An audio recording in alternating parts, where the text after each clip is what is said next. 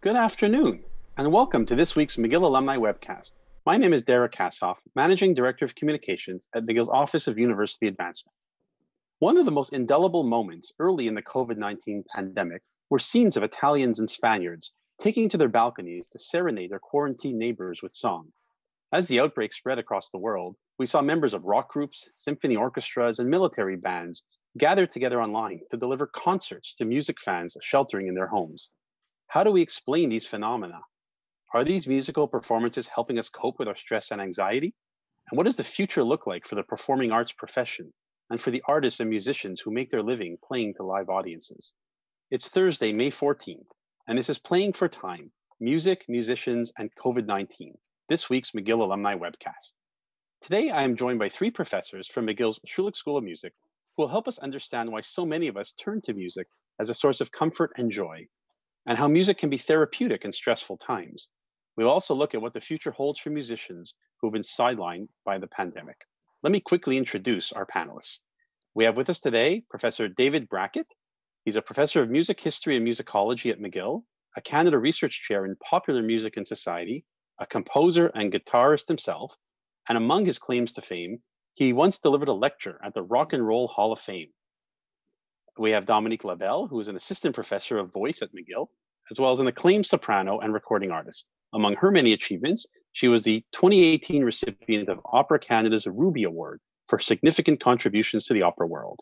Mm-hmm. And finally, joining us from London, England, Aaron Williamon, professor of performance science at the Royal College of Music in London, founder of the International Symposium on Performance Science, and the Schulich School of Music's Distinguished Visiting Chair in Music for 2019 20. Welcome to all three of you, and thank you for joining us for this discussion. Pleasure to uh, be prof- here. Thank you. Uh, Professor Labelle, uh, let me begin with you, as I'd like to get a sense of what the landscape at McGill's Schulich School of Music has been like since the pandemic forced the closure of the university's campuses and buildings in the middle of March. Uh, some professors who we have chatted with previously have talked about the successes of moving instruction from traditional classrooms to online platforms. Mm-hmm. But I mm-hmm. can't imagine this was easy for a faculty where students need to perform in order to learn and to be graded. So, can you tell us a little bit about what the transition has been like for music students at McGill? Certainly, I can certainly try. Uh, you're mentioning the landscape. I would say that the landscape is probably close to the Sahara Desert right now, with uh, a couple of oases all around. We found out on March 13th, I think it was a Friday, that everything would stop the lessons, the practice, nothing was available, no more recitals, everything was shut off. Um, it was a shock, not just for the teacher, but for the whole school and for the students, especially. Students that uh, appreciate their lessons, voice lessons, percussion, piano, violin, strings, woodwinds, and uh, also looking forward to their year long uh, preparation for their exam. That was a very, very important step to go through as a young student.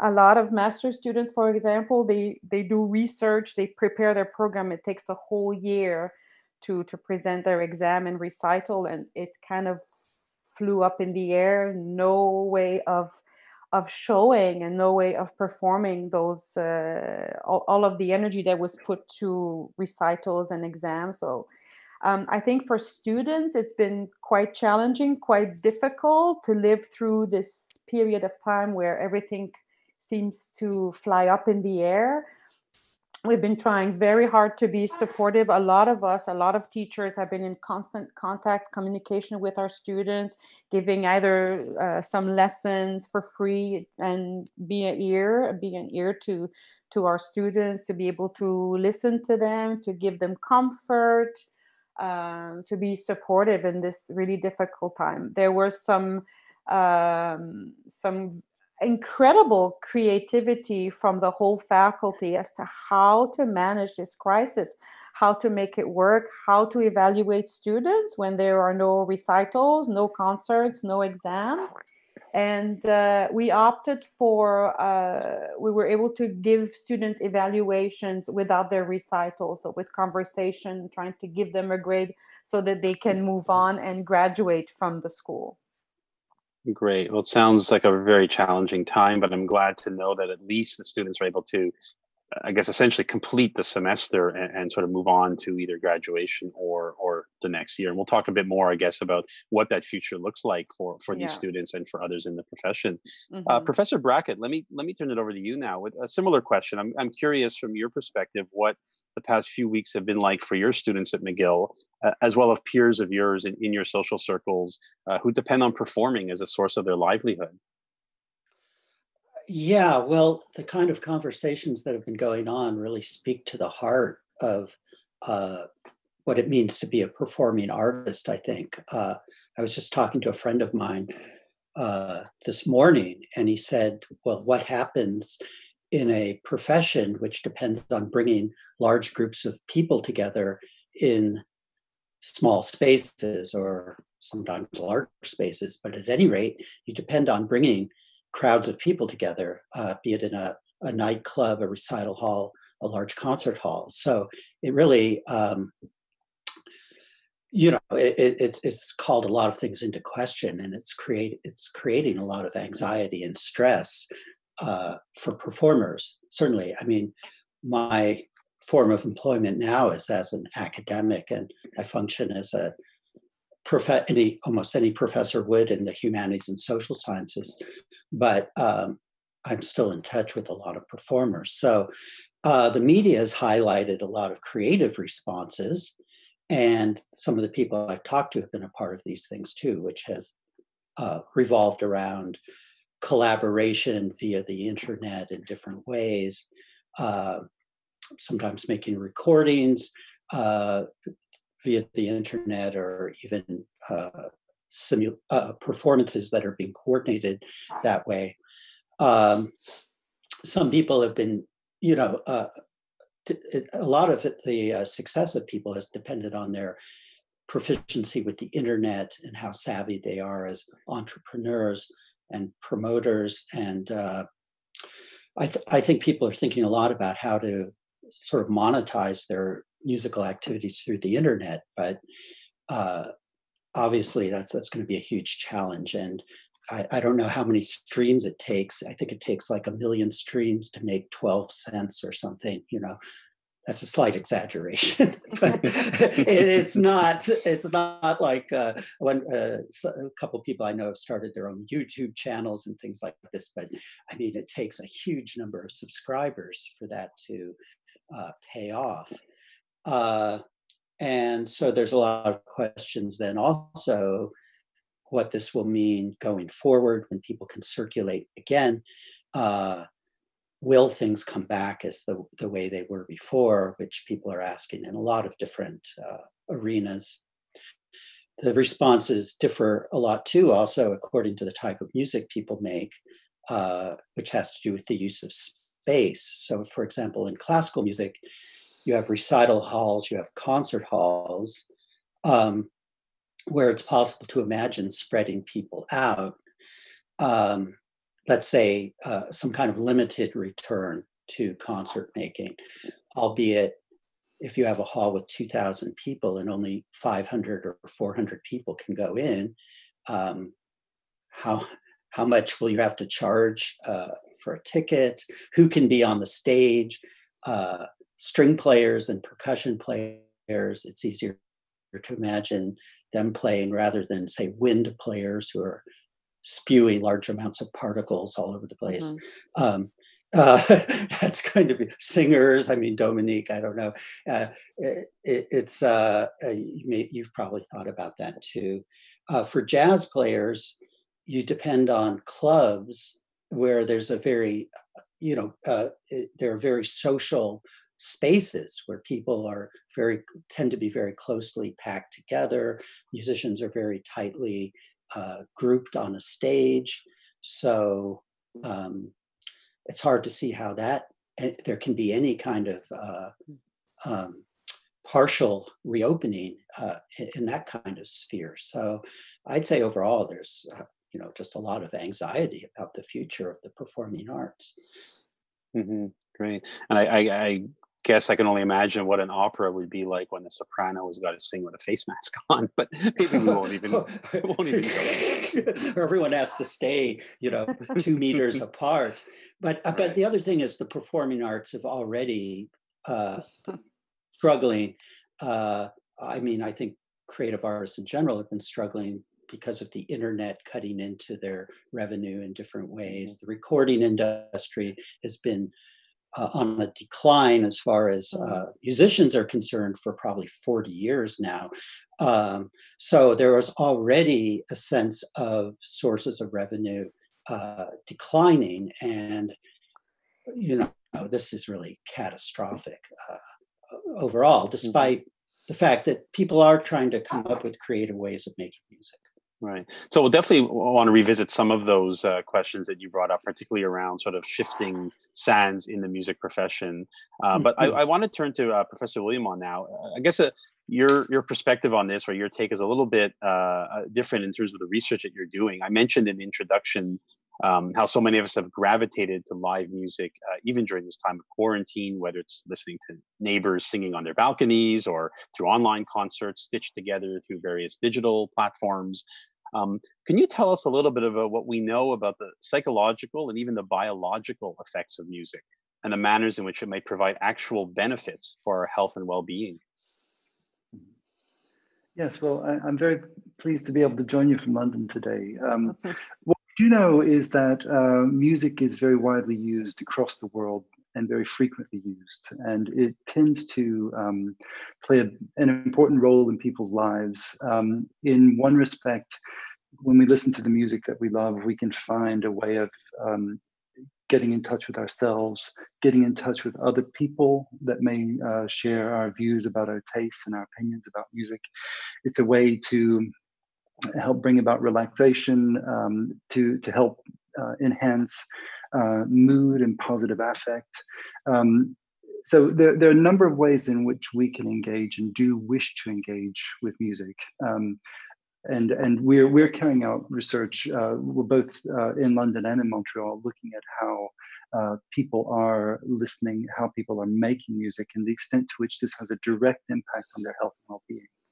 Um, the area in particular that I, I'd like to look at, and, and in our research we have been carrying forward, is the, the role of making music for health and well-being. Um, and what we see there is that when we're looking at different groups within within society, uh, whether they are um, uh, older adults living in nursing homes or mental health service users or um, uh, cancer patients who are singing in uh, so-called cancer choirs that have been running across the UK, we find that the act of making music can give people a chance to come together with others, to experience something, to, to have a sense of accomplishment, a sense of agency. Um, there's there's a, a, a sense of uh, success as well when when performance goes uh, according to plan.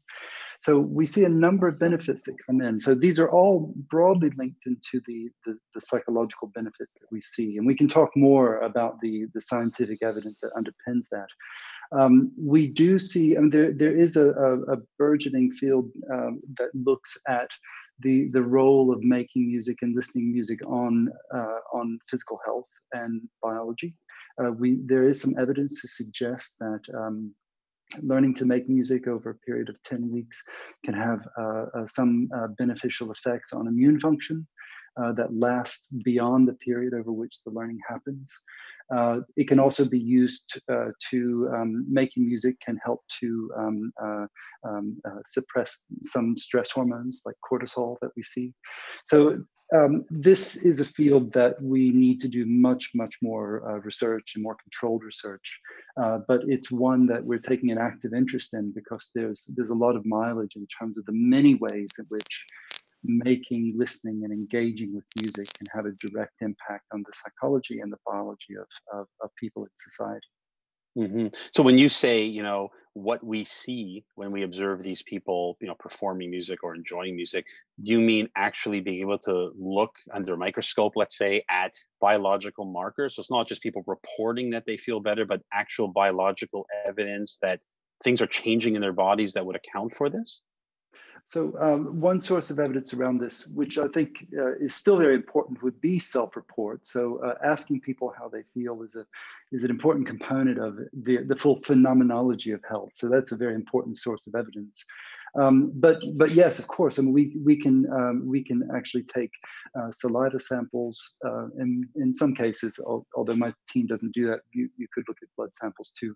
But you can look at saliva samples and and uh, analyze those for the presence or absence of um, uh, stress hormones, uh, certain immune cytokines that that uh, that you would then compare with other control or comparison groups, or in fact look in the same people over time to see how uh, the act of making music may uh, have a direct impact on those biological markers.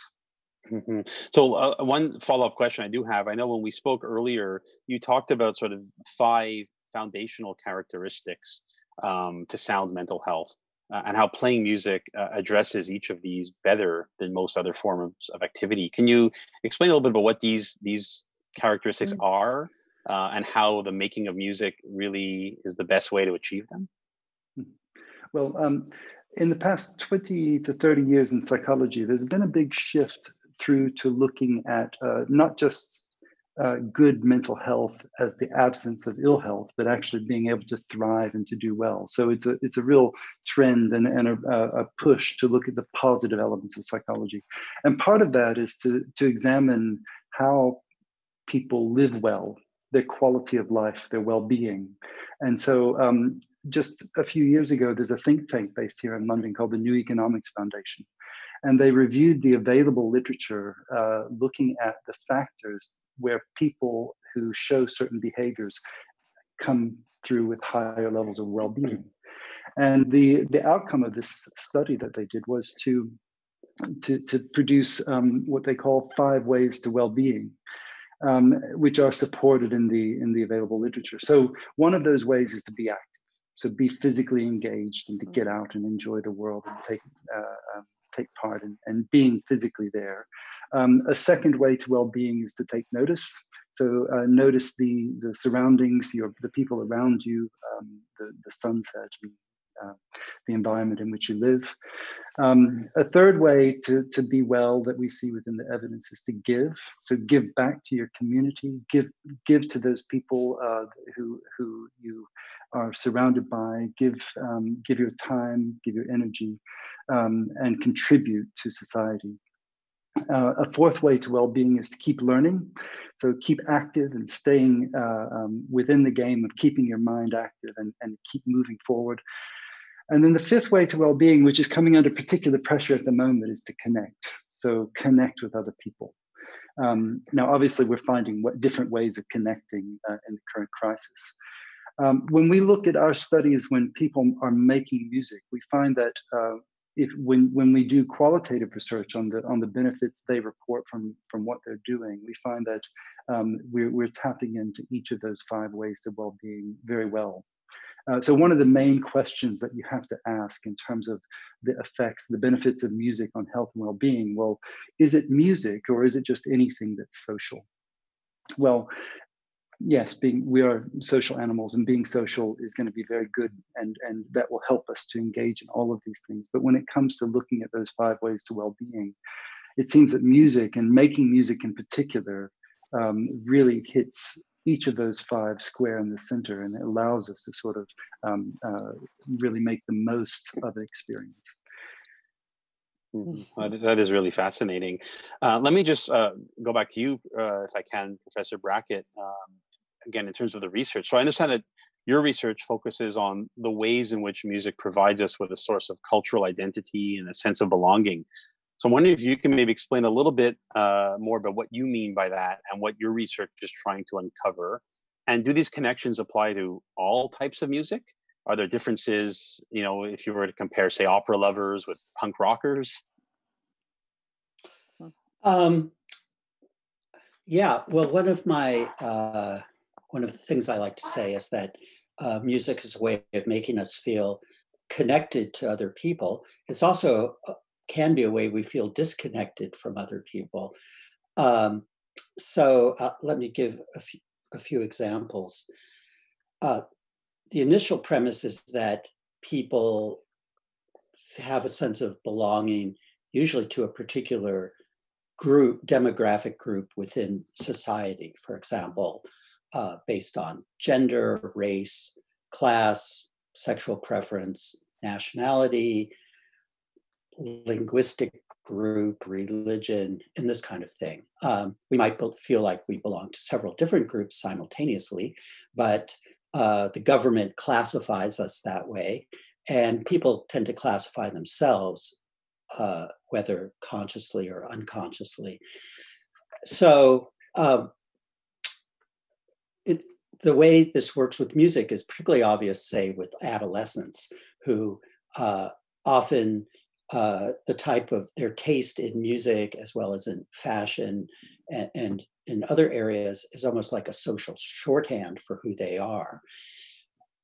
But I would say that it, it pertains to people uh, regardless of whether they're teenagers or not. It follows us uh, through life. And um, uh, so let me give some examples. It's particularly clear in popular music, I'll say, where we have different uh, categories of popular music that are widely associated with different groups of people. So if I were to mention genres like hip hop, country music, or heavy metal, I think most of us would conjure up images of certain types of people. Uh, um, I used to ask students in my popular music classes uh, what types of music they liked. And a common response would be for them to say, I like all types of music, except for blank. But that except is very important because you think you like everything except heavy metal, but you really detest heavy metal. And you don't just detest heavy metal, you detest the types of people you think like heavy metal.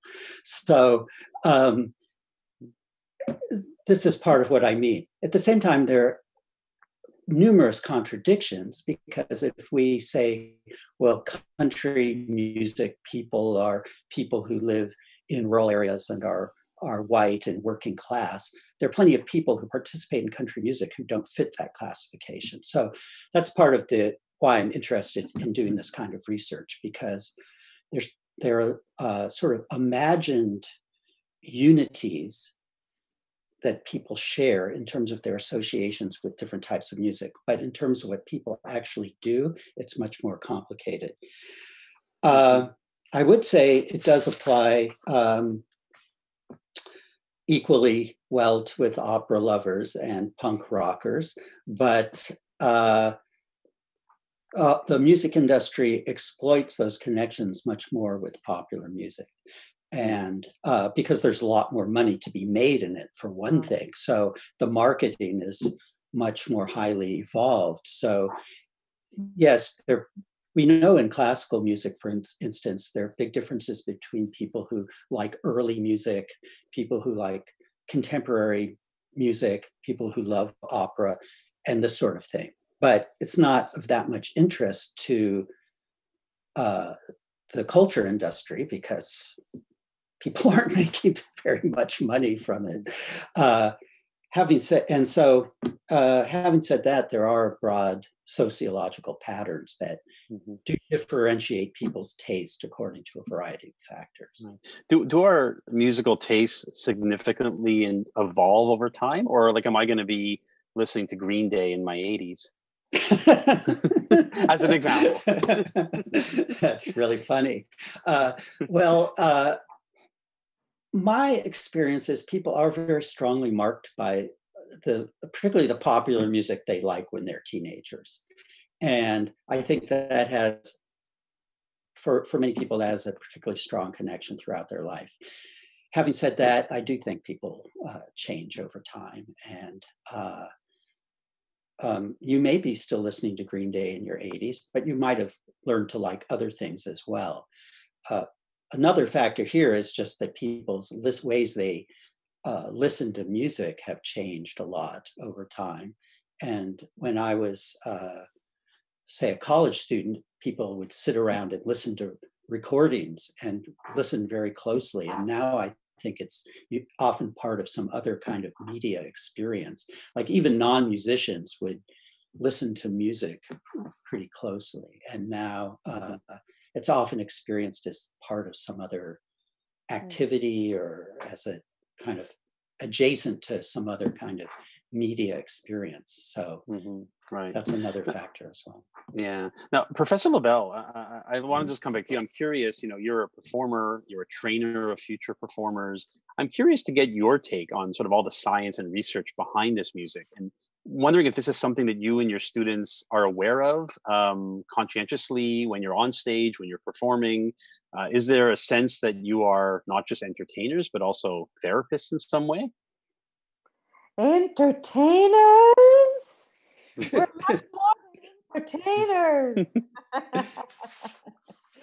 I, I, guess that maybe some people would think that we are there to entertain, but I mean, if you are a, a, night of music and if you sacrificed your whole life to make music, to study music, to master your instrument, uh, to understand what a composer meant when he wrote or she wrote little dots on a piece of music on a piece of paper uh, you i think you have to find it's, it's a very very very deep commitment to that art and uh, I, I, guess there are all kinds of different ways you can you know think that you're an entertainer i i really consider myself more as a, a sharer of the history of humanity.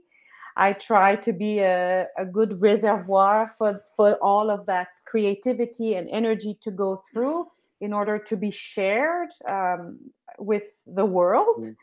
So I think as as artists, it's very important to to be in touch with our generosity as musician, our creativity, and also about the importance of of a musician which is i think very very hard right now for students to believe that what they're doing mm-hmm. is very important because it's not rewarded financially mm-hmm. i don't know anybody none of my colleagues right now who have no work no conductors musicians all of my colleagues that have no no work until probably you know january february maybe next year there's none of us who have decided to to commit to music uh, for money Mm-hmm. So I think that um, as far as the responsibility of a teacher, I think it's very important to to really share that and to share those values with our students.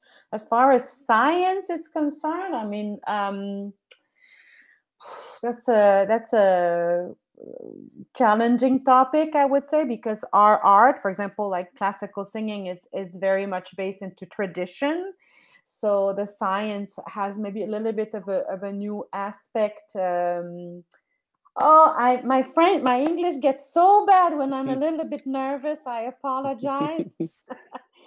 but what did you mean about performance science? Because it could mean so many things to so many people. Could you right. be, be, uh, be more specific about what well, you're what you're meaning? or just about when when you're performing or when your students are performing yeah. are they are they conscientious or aware of the fact that you know they may be having you know their their their art their performance may be having a therapeutic benefit uh, on the people in the audience i hope so i mean we we certainly share it in even small little studio classes where somebody uh, when a singer has to sing they have to connect to their whole emotional life their mental life their their life itself. And i think that there's something very rewarding when they see their colleagues or their peers cry or smile or laugh. So i think that we understand the power that we have the incredible and very privileged power to be a performer. Mm-hmm. so i think that you have to believe that the way you communicate and how you communicate and what you communicate will change the world i mean that's that's one mm-hmm. of my main mission mission as a teacher is to share with my students that they are very powerful human beings mm-hmm. Great thank you so i want to sort of you know bring it back to sort of the the, the experience we're living now obviously in this pandemic and and you mm. know how it's changed our lives in so many ways. And maybe I'll go back to you, uh, Professor Williamon. Uh, I know you talked about earlier the, the tremendous therapeutic benefits that come from gathering in groups socially, playing music, being part of a choir. You know, but I'm wondering to get perhaps your take now that all of these large gatherings are, are forbidden or, or strongly discouraged all over the world you know, and there are no more opportunities for choir practice and theater troupes or even friends getting together in a garage to, to jam for an afternoon. You know, what what can we do now if we still want to acquire the benefits of music from the confinement of our homes? Mm-hmm. Yes, well, let me put a bit of context around this. So uh, I'm running a project at the moment, which is funded by one of the, the research councils in the UK uh, called the Hearts Project. It's the health, economic, and social impact of the arts. And last year, we ran a large scale survey study with a nationally representative sample here in the UK. Uh, of 5,000 people, uh, looking at the what they do in terms of engaging with the arts, um, uh, who they do it with, how much they spend on this, um, and and how that activity relates over to certain key health outcome measures. So, for instance, we um, we know that when it comes to listening to recorded music, um, 82 over 82 percent of the UK population is engaging regularly with listening to music, and in fact, over uh, over 66, 67 percent percent of the UK population are are going uh, on a regular basis to live music in some shape or form. So there's a huge amount of activity of people coming together and also engaging with this art form. Um, we, uh, we, we, we also know uh, through this study and through other studies that those people who are more engaged, we tend to see higher levels of well-being reported and greater levels of social connectedness. So in the UK, um, uh, a couple of weeks ago, the uh, well, we went into lockdown. We had uh, schools shut, and we relaunched our survey that we ran last year to look at how the change in arts activity is happening and what's how this is having an effect on on things like well-being so we're we're still collecting data, and I'll say that what I will just about to say I have to contextualize in that we've not it's not peer-reviewed results, but we're um, uh, we, we've collected a, a data with, again with a nationally representative sample of 10,000 people. Uh, we see that the, um, the, the, the things that usually drive arts engagement for the population uh, in terms of the, the things that they, they, they take in, they listen to, they, they go to museums, um, the, what we call the receptive activities, those are gone. So very, very few people are able to engage in that sort of activity, except for things like uh, listening to podcasts and downloads and so on.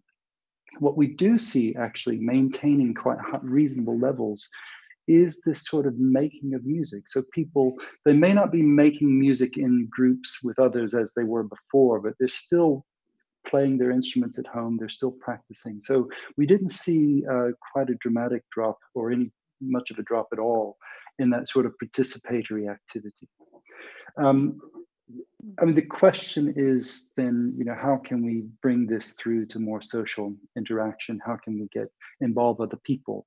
Now, uh, most, uh, uh, the Schulich School of Music, the Royal College of Music as well, a lot of conservatoires will have the technology that to some degree will allow musicians at very high levels to synchronize their performances over some distance.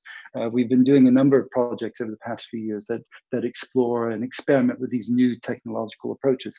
The problem is that those, um, those high-tech solutions aren't really available in our homes. And so a delay of a, of, of a second in our video conferencing uh, display makes all the difference, of course, because you can't have that when you're performing at very high levels and you're trying to coordinate groups of people. But what I've found is that uh, what I found interesting is the way in which musicians are being inventive about um, uh, uh, uh, engaging audiences via different platforms and social media. And of course, the other thing that we can keep doing is we can we can keep learning and teaching. Uh, so a lot of the uh, professional musicians out there are still uh, are trying their very best to run one-to-one lessons to help people you know, get up to to stay up to speed with their musical skills. Mm-hmm. Um, so that so one study that we've done in the current situation is to look at how the public health is responding to this in terms of their arts activities. Uh, the other thing that we're doing, and we're we're, we're in the middle of data collection now, is that we're running a, um, a survey with professional artists and musicians to look at how the current situation is having a direct impact on them in terms of their finances, in terms of their health and well-being. So um, if I could just give a quick plug, I mean, we we're working with uh, colleagues at McGill, uh, Isabelle Cossette, for instance, who um, uh, is helping to uh, um, run the survey in Canada as well. So we have, uh, if if we have uh, surveys available in Canada, the US, the UK, Australia, New Zealand.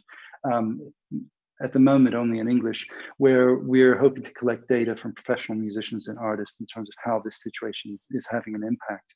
So if you go to uh, performance science, one word, .ac.uk, on the front page of our center's website, there's a link to the survey for Can Canadians. And from there, if you don't live in Canada, you can click the links to the other countries and take part to tell us how the current situation situation is having an impact. Mm-hmm. Uh, what we do see, for instance, um, uh, according to standardized measures of anxiety and loneliness, uh, of course, um, uh, anxiety has gone up um, among the professional artists that we've been uh, sampling. We, we see levels of loneliness go up. Uh, almost to a person, we find that most professional artists um, find that they are under financial hardship. In terms of loss of earnings, um, the, the bulk of the loss is happening within their performance activities, a little bit less so with teaching.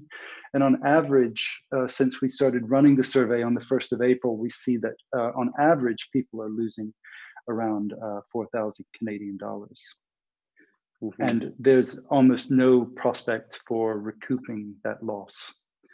Uh, so, in my perspective, I, I, think it's really interesting to see um, what the how the situation has unfolded because we can then uh, and to study this carefully because we'll then have the, the the information where we can start making a stronger case for other types of support, other types of activities. Um, I'll also I know that the the first wave of impact has really come in to have an effect on people who are self-employed and working in the so-called gig economy it will be very interesting to see what other waves of, impact there may be, for instance, with different types of workers.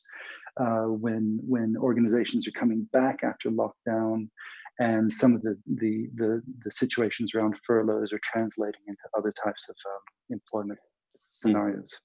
Great, thank you, uh, Professor Brackett. Uh, speaking of sort of how things have changed in the pandemic, maybe we could talk briefly about sort of music listening patterns? I know you again a lot of your research is really focusing on the importance of music to build sense of belonging, cultural connectedness, maybe bonds between parents and their children, as one example. Um, I also realize that we probably spend a lot of our time listening to music while we're driving in our cars, taking public transit, perhaps working out in the gym. Um, and those are all things that are probably happening much, much less frequently than ever before. So are you noticing uh, sort of this sort of just lessening of music as part of our lives, part of our daily lives, and what impact might that have if this goes on for a for a long period? Um, well, there is some evidence that, say, music streaming has decreased, and um, for some strange reason, uh, Netflix watching has increased. That was a joke. Yeah. Mm-hmm. Many people have commented on watching a lot I more television, yes. watching yeah. a lot more television than they did before. Um, mm-hmm. But it's still curious because you think, well, people are home. Why wouldn't they be listening to music more? And some of it, I think, comes down to what you just mentioned that many uh, people, I'm not talking about musicians so much as just casual consumers of music listen to music often when they're uh, commuting, uh, driving, uh, taking public transportation or this sort of thing. Mm-hmm. And I noticed too that um, my own listening habits, I tend to uh, listen to music when it's work related, related to a project of some sort where I listen very closely. Uh, but then I also would listen closely when I was driving and uh, driving my children around and this sort of thing. And uh, the one time I've done that since the quarantine started my son and I both noted how strange it was that something we used to do once or twice a day, we hadn't done for a month. And we would we go through different patterns of listening to different types of music and talking about it. And I, I suspect that's true for many people that um, that's part of their routine that they're missing. Um, having said that, the streams of the Police song "Don't Stand So Close to Me" have gone way up. I wonder why. It's their 1980 hit, Don't Stand So yeah. Close to Me. Um, and uh, the, uh, and also Spotify notes things like uh, playlists like the cooking playlist and housework playlist have gone way up. Uh, so uh, and people have been adding more chill songs to their playlist, which are, I guess, calm songs that um, don't get them too excited. So uh, that would make sense. Uh, Aaron mentioned uh, streaming live concerts and this sort of thing, and uh, I think those have been very popular. Uh, people are mm-hmm. exploring different kinds of collaborations, as we've already said, but um, nonetheless, uh, streaming of music seems to be down around 10 to 12 percent. Mm-hmm. Some of this may be due to, say, restaurants being closed, which is, uh, you know, they're important clients of uh, streaming services, cafes and restaurants. There have been no new releases, which tend to generate a lot of excitement, or many fewer new uh, recordings being released. So uh, those all all seem to be factors. Yeah. yeah. Now I want to just turn to you, Professor Labelle. Um, again, mm-hmm. speaking about these sort of online concerts that are being set up across digital platforms, whether it's singers in different countries or, or people playing different musical instruments. I mean, I think a lot of people have, enjoyed this and have found a lot of comfort and, and, and joy in, in this. Uh, but of course, all of this is, is being provided to us on these digital platforms for free. And I'm wondering, from your perspective, are you concerned at all that this over time might diminish the value of music? Are people going to want to pay for musical performances in the future if everything's coming to them for free right now? I, I see you, you, you think yes. Yes. yes. I, I don't think that that I mean it's it's very moving, especially at the beginning of the the uh, the crisis. I, I was I remember watching on Facebook or on YouTube people wanting to connect and meet and doing little duets or orchestras, making music together. And I, I thought it was very moving, not because it was music, but it was because people wanted to meet and make music together. I mean, if you if you look at what's under the the effort, you have to look at the value that's that's being uh, communicated behind the music itself. I mean, I to me, it's very nice to hear this music uh, online to see how people are making it work. Because when you think about recording music, you you cannot have two people at the same time. There's only one thread of sound. So let's say if I want to sing a, an aria with a pianist, the pianist has to record it, send it to me, and then I sing on top of what the person already has done. It's not like something that is shared in the same moment.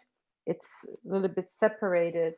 But I don't think that that has anything to do with live performances. And I think mm-hmm um, it's so important for people to to go and experience music together and i think you know in the end it will be up to people to decide how important music is how important live music is i mean it's a little bit different than listening to music on you know on your on in a restaurant or in the car I'm talking about real performances, real arts performances. I, I don't see how it would disappear because mm-hmm. it is mm-hmm. so important. Although economically you cannot see it, and people that are uh, making music right now they have no way of, of making any income. But I think in the long run, it, there's no way that it would disappear because it is so important. Mm-hmm. Professor Williamon. Go ahead. If I can just come in on that, um, you know, I, I, think if people want high quality product, then they will go to live performances as well. Um, I mean, the, the act of performing is really very different from the act of um, running through something in your practice room. I mean, it, it's, I mean, the, the end performance will be different. Uh, there was a very nice study in Japan recently that looked at recordings um, of, of, recorded studio performances versus uh, live performances, and they played these these recordings to other to audiences, and the audiences by far preferred those live performances. And on top of that, you have to bear in mind that the the place of performance is very important. Um, I mean, these are, uh, our, our concert halls, our jazz clubs. These are places where you, again, if possible, to come together people with people. It's a very effective venue in which to do it. People, uh, of course, there's a whole social uh, um, uh, social side of, of meeting together with people, talking about the performance you're about to hear or the performance you just heard. So mm-hmm. um, it's a very powerful experience and we seem, seem to be drawn to it. In, in London, for instance, I read recently that the South Bank Centre is the second uh, most visited um, tourist attraction, if you want to consider it a tourist attraction, but it's it's the home of a lot of our live music. And so um, it's important that uh, it's an important place, it plays an important role in the life of the city. Mm-hmm. Great. So I'm um, curious. Oh, so go ahead, uh, Professor uh, Brackett. Oh, I, yeah, I would just like to add that um, I certainly hope everyone is right here, and I share uh, their belief in the importance of, of live concerts. I, I mean, I, I think again, this is also a, seems to be a source of anxiety too, which is there's uncertainty around it, given that there's been downward pressure on uh, the performing arts in general uh, for a long time.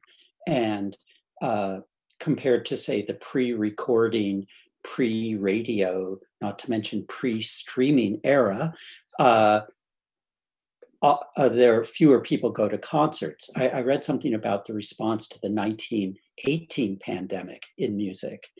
And um, there, people didn't even really stop giving concerts. I mean, they kept trying, and some people would start a tour and have to abandon the tour in the middle because too many people got sick and, and things like that. And then as soon as it was over, people just flocked back to concerts.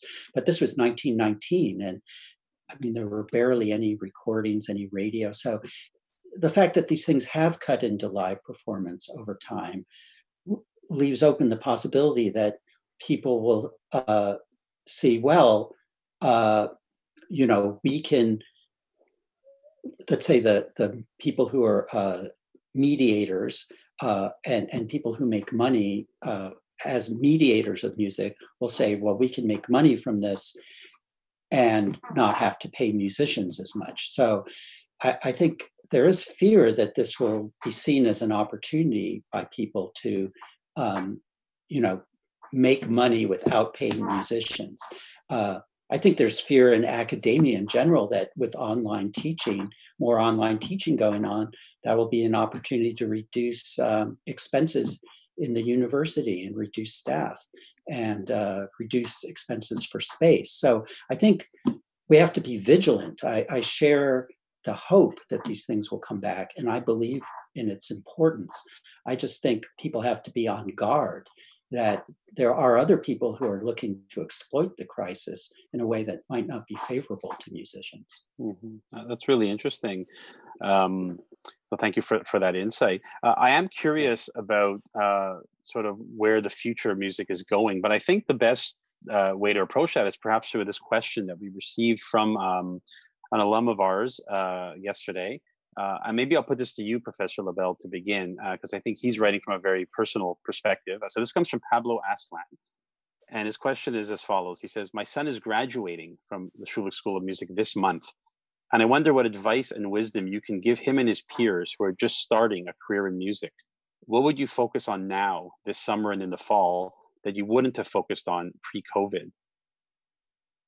Yeah, I looked at that question this morning because I thought this would be really hard to to answer.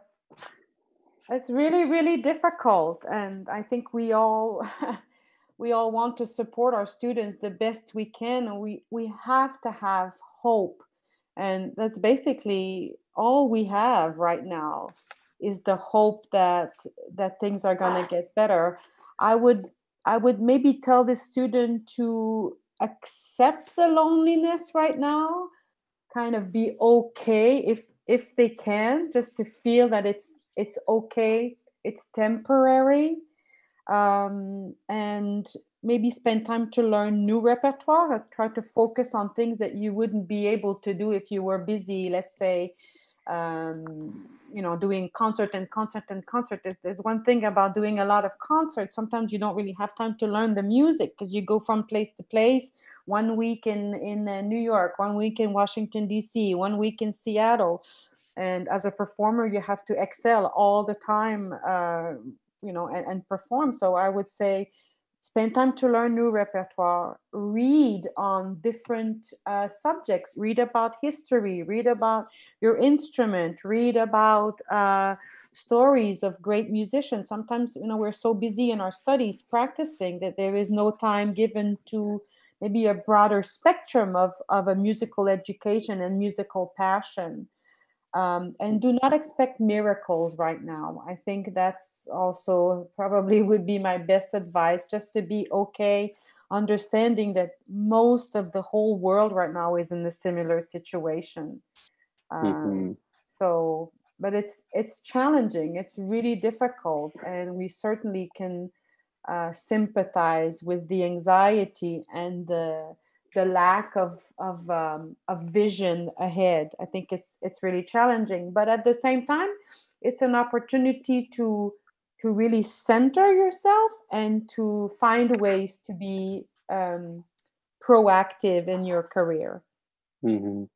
Thank you. So before we we do wrap up, I would love to maybe just uh, go to our, our, other two panelists as well, Professors Brackett and Williamon, just maybe get some final thoughts from each of you uh, some final takeaways perhaps in terms of you know the current situation what the future might look like for music and are there any lessons perhaps uh, that one might be able to take away from this experience and this pandemic and this period of quarantine that might in fact serve musicians and the music profession uh, well in the future? Um, professor Williamon maybe I'll, I'll start with you if that's all right well, um, yes, and, and and even touching on the question that you had asked, uh, I mean, one thing is for clear, one thing is for certain, and that is that music is a fundamental part of human uh, interaction, engagement, and behavior.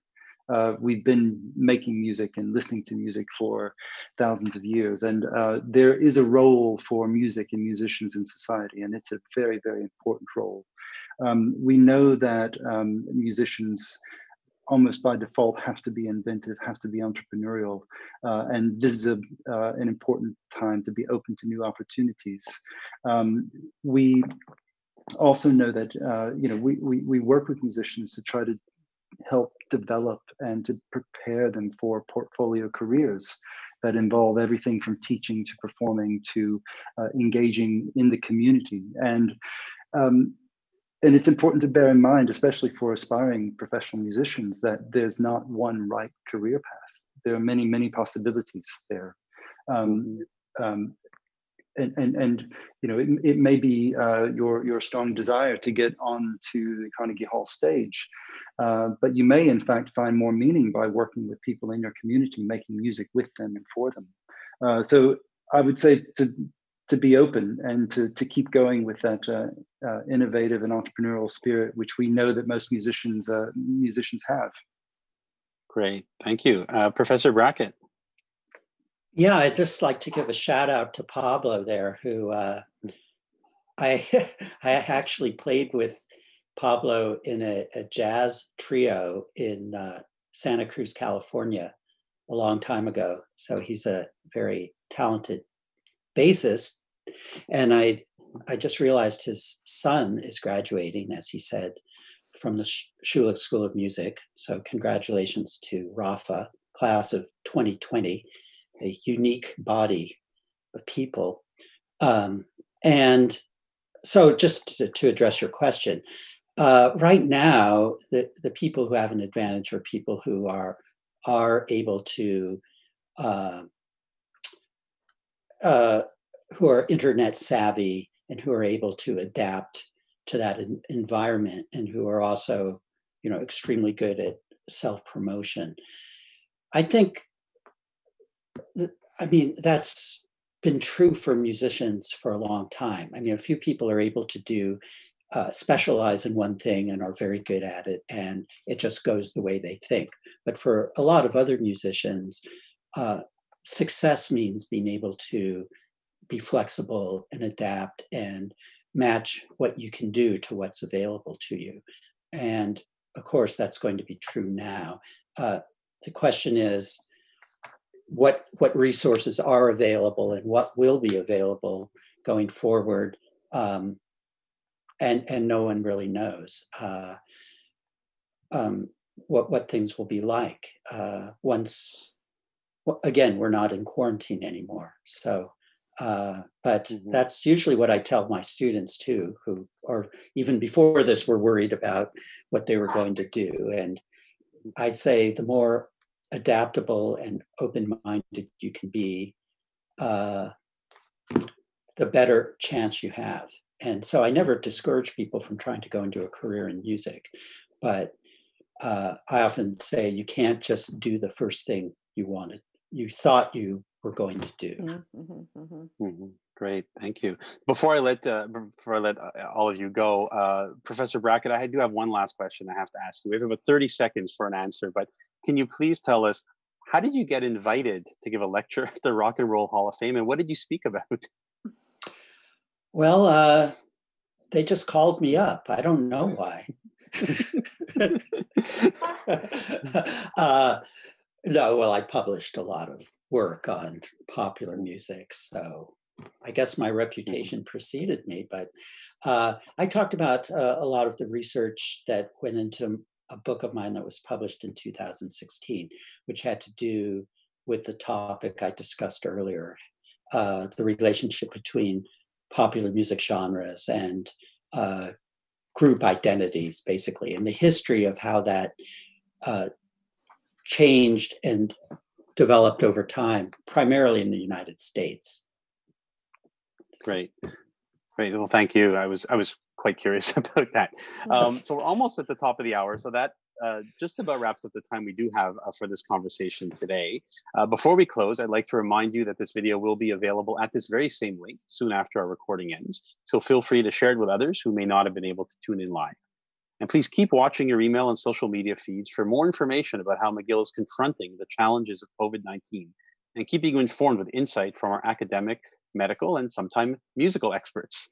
If you are a McGill graduate who is not currently receiving our emails but would like to be added to our distribution list, you can visit alumni.mcgill.ca slash register to sign up, and that link will be available beneath the video player on our YouTube channel. Thank you to everybody as well who filled out our recent survey asking for feedback on these webcasts. We received more than 3,000 responses, and we'll be reviewing these closely over the coming days to ensure that we're delivering this information in the best way possible.